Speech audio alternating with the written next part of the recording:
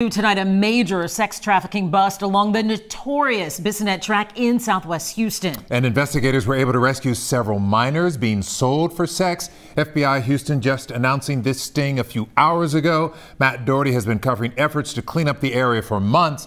Joins us with the latest tonight. Matt?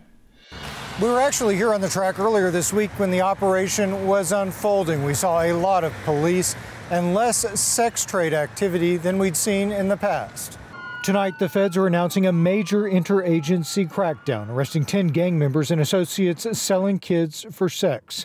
The arrest part of a sweep that ran from the end of August until just last night. Girls as young as 9, 10, and 11 were being sold on that track.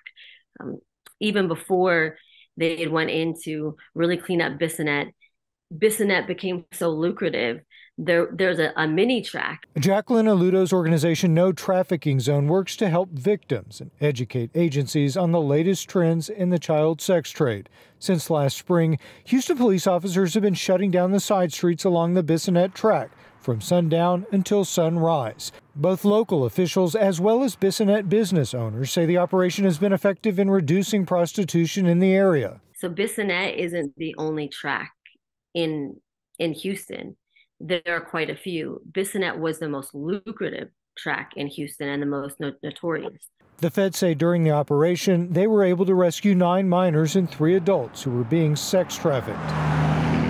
Tonight, Aluotto told us the crackdown is a step in the right direction, but says laws with harsher sentences need to be passed to make the cost too great for the traffickers. Until then, she says, it's not going to stop the business of human trafficking. They are going to go elsewhere. Our coverage of this story doesn't stop here tonight. Next week, we'll show you how law enforcement is trying to protect our kids from the sex trade.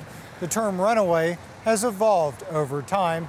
It's a story we've been working on for weeks. We'll share it with you right here next week on Tuesday night at 10.